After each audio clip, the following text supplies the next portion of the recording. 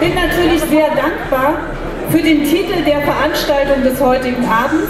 Wir werden so, sozusagen dieses ähm, komische Image der Verbotspartei heute Abend direkt als Brandopfer auf dem Grill opfern. So haben auch viele, die normalerweise keine Bratwurst essen, weil sie auch sagen, man weiß ja nicht, was da drin ist, gesehen, aha, keine Pulverküss, keine Zaubertricks und mit Liebe, Herz und Hand frisch für sie zubereitet.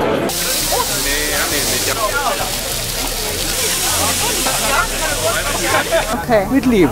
Mit Liebe. Mit Liebe. Mit Liebe, wie heißt sie nochmal? Laos? Nee, wie war das? King of Laos. Und dann mache ich hier, die ist jetzt ein bisschen schlapp. Ja. Das ist ja dann mehr so eine Schnürsenkel. Ne? Das ist mehr dann so für die, die nicht so eine dicke Wurst wollen. Genau, ne? ist klar. genau. Ja. Faire Menge. Es gibt halt kleine und größere bei mir. Ne? Das ist nicht, gibt nicht für jeden dasselbe. Das geht auch ein bisschen danach. Jeden nach seinen Bedürfnissen. Genau.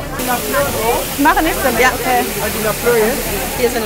Gutes, gutes Handwerk. Das ist ganz perfekt. Absolut perfekt. Wenn man nämlich eigentlich so konservativ ist wie ich, dann möchte man immer nur die Bratwurst, mit der man aufgewachsen ist. Also ohne Majoran. Das war jetzt eine, die ganz anders geschmeckt hat und ich muss sagen, fast so zum Verlieben.